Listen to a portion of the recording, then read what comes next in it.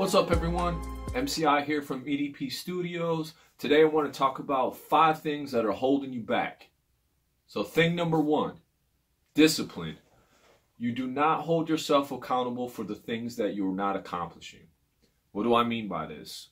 We all know what discipline is, but really, when it boils down to it, Grant Cardone, if you're familiar with him, he says it's going to take you 10 times the action of what you think it's going to take to accomplish a task. So you have to always keep that in mind. If you have no discipline and you're not sticking to what you said you were going to do and holding yourself accountable or having an accountability partner or having somebody else keeping track of your progress, you're not going to follow through with your goals. So you have to be disciplined. You have to stick to what you said you're going to do and you have to be diligent with it to the T. Reason number two, you're not succeeding you don't have a why or you don't have a big enough why. All major successful people know their why. Why are you doing it?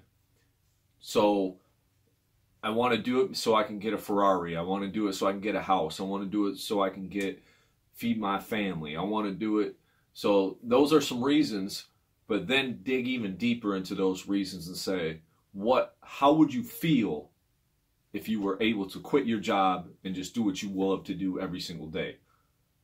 That is your why. Because it's going to make me feel like this. Because it's going to set my family up for this. Because it's going to get me out of a job that I can't stand doing.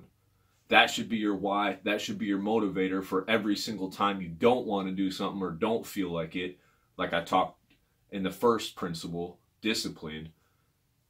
Those are the reasons why you should be able to continue to go back and look at your why. Why are you doing it? If you don't have that written down, you don't have a clear reason for why you're wanting to accomplish what you want to accomplish, you'll just go back to playing video games and watching reruns of Roseanne or whatever the hell you do. Number three, your ego's in the way. You think you're too good for this, you think you're too good for that. If you're trying to sell a project, sell your music, you're too afraid to DM somebody because you're going to be told no.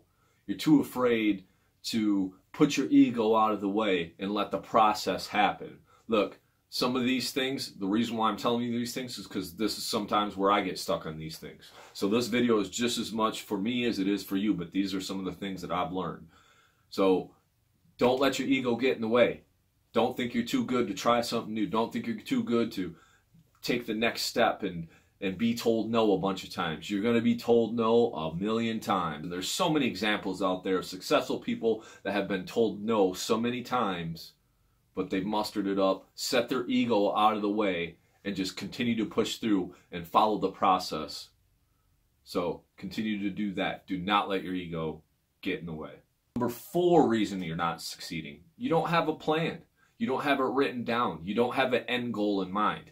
You're just out here maybe posting this and doing that and trying this and dabbling in that. You don't have a set plan of exactly what you're trying to accomplish or what you're trying to do. Do you have the end game in mind? Do you have the six month goal? Do you have the one year goal? Do you have the two year goal, the five year goal? And what does that look like? And how are you going to get there? So you are not succeeding because you do not have it written down and you're just, oh, maybe I'll do this, maybe I'll do that. And then it just turns out you put everything off. So that's the number four reason why you're not succeeding. And the number fifth reason why you're not succeeding, you're too afraid to try new things. You keep doing the same thing over and over and over, and you don't try new things. You don't test new things. You're scared to take action because you think it's supposed to go a certain way. You could read all the books in the world about marketing and building email lists and selling beats. There's a million beat selling videos, but if you're not selling beats, if you're not selling your music, you're not promoting your music correctly, it's because you're not taking action to try new things. Because you may have take action and you're not taking massive action. That could almost be a sixth reason why you're not succeeding because you're not taking action consistently all the time. And when you're taking that action, you're not trying new things to know exactly what it is that makes it work for you. Because what works for me and the way I approach certain things will not work the same for you. So you can go around and get all this information, gather it. You can be an info hoarder, and I do the same thing. I get I sign up for every email list I can to maybe learn something new because I'm always trying to develop and and figure new things out.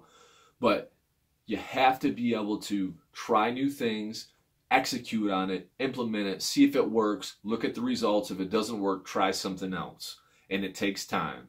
So those are just five quick reasons why you may not be succeeding. Hopefully they help you out. I really appreciate the love, like, share, subscribe, whatever you have to do. I really like it. Um, I really appreciate that. It helps me build my page up, exactly what I'm trying to do, just probably what you guys are trying to do. So um, we're on this journey together. All I can say is uh, much love to you guys. Peace out. ExitDoorProductions.com for all your music needs. Check out some of the new products we just launched. They're totally awesome, totally amazing, going to help you guys out. So with that being said, I will drop a link in the video description below or in the comments if you guys want some free beats, some free stuff to help you move along your way for rappers. And if you guys have got any questions, feel free to always reach out to me. So uh, with that being said, much love to you guys. Peace.